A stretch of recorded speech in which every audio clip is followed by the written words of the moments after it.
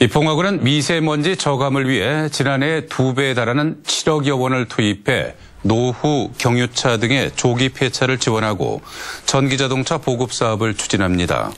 사업 대상 대수는 200여 대로 봉화구는 전기자동차 구입비로 평균 1,400여만 원, 노후 경유차 폐차에는 최대 300만 원까지 지원할 계획입니다.